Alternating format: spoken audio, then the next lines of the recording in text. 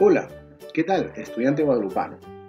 Nuevamente vamos ahora a aprender el ejercicio número 1. Tú ya has visto los anteriores videos y ahora vamos a aprender cómo convertir el número 600, ojo, el número 600 lo vamos a convertir a base 8. Recuerda que este número 600 está expresado en base 10, ¿verdad? Está expresado en base 10. Entonces, hay un método, estimados alumnos, que se llama el método de las divisiones sucesivas. ¿Correcto? Con el método de las divisiones sucesivas, tú y yo vamos a poder convertir un número, ojo, un número que está de base 10, ¿sí? A cualquier otra base. ¿Estamos de acuerdo? Repito, un número de base 10 a cualquier otra base. ¿Correcto? Entonces, ¿qué hacemos? En primer lugar, agarramos el número 600. Acá está el 600. ¿De acuerdo? Y como me pide convertirlo a base 8, lo voy a dividir entre 8. ¿Estamos de acuerdo? A ver, vamos a dividir. ¿Cuánto es 60 entre 8? 7, ¿verdad? Claro que sí. 7 por 8, 56. ¿Estamos de acuerdo? Resto, 60 menos 56, 4. ¿Qué bajo, niñitos? El 0. Pregunto, ¿cuánto es 40 entre 8?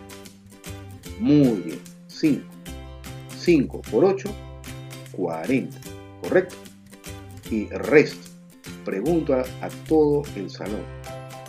¿Cuánto es 40 menos 40? 0. ¿correcto? Y este 0 lo encierro. ¿Estamos de acuerdo? Muy bien. ¿Hasta ahí? ¿Está claro? Muy bien. Continúo, ahí no queda. Pregunto, el 75, el 75, ¿lo puedo seguir dividiendo entre 8? Claro, entonces, como sí lo puedo seguir dividiendo, sigo dividiendo. A ver, pregunto, ¿cuánto es 75 entre 8? 9, muy bien. 9 por 8, 72, ¿correcto? Ahora voy a restar. Pregunto al salón, ¿cuánto es 75 menos 72? 3, muy bien. Como este es el nuevo residuo, también lo encierro. ¿Estamos de acuerdo? Muy bien. Siguiente paso. Pregunto, este 9 que ven acá, eh, ¿puedo seguir dividiéndolo entre 8? ¿Se puede dividir 9 entre 8? Sí, profesor. Ah, ya, entonces lo divido. Entonces yo digo 9 entre 8. ¿Cuánto es 9 entre 8? 1. 1 por 8, 8. Pregunto al salón, otra preguntita. ¿Cuánto es 9 menos 8? 1. Como este es el nuevo residuo, también lo encierro. ¿Estamos de acuerdo? Finalmente, última pregunta. ¿Se puede dividir 1 entre 8? ¿Es posible dividir 1 entre 8? A ver, lo pongo acá. ¿Es posible dividir 1 entre 8? ¿Se puede? No se puede, ¿verdad? Entonces, como no se puede dividir 1 entre 8, a ver, puedo borrarlo, puedo borrar esto para que no se vea un poquito. Ahí está, muy bien, ya está. Pregunto, ¿se puede dividir, reitero, 1 entre 8? Hemos quedado que no. Como no se puede, entonces lo que hago es encerrar este numerito. ¿Correcto? Lo encierro. Muy bien. Profesor, ¿y ahora qué hago?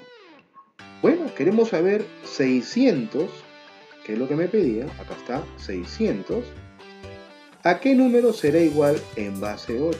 Profesor, ¿qué hago? Muy fácil. Miren, ¿recuerdan que el 1 fue el último número? Entonces voy a unir este con el penúltimo que obtuve, este con el anterior que obtuve y este numerito 3 con el anterior que obtuve. ¿Estamos?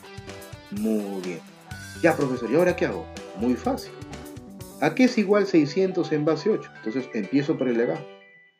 1. Coloco 1. Luego pregunto, luego ¿quién sigue? Después de, de este 1, ¿quién sigue? El 1 azul. Entonces el 1 azul lo coloco acá.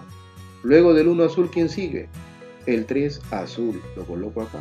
Y finalmente, después del 3 azul, ¿quién sigue? El 0 azul. ¿Correcto?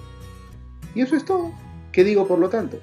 Que 600 es igual a 1 1, 3, 0 en base 8, que sería la alternativa A. Entonces, para repasar, antes de retirarnos, ¿qué decimos?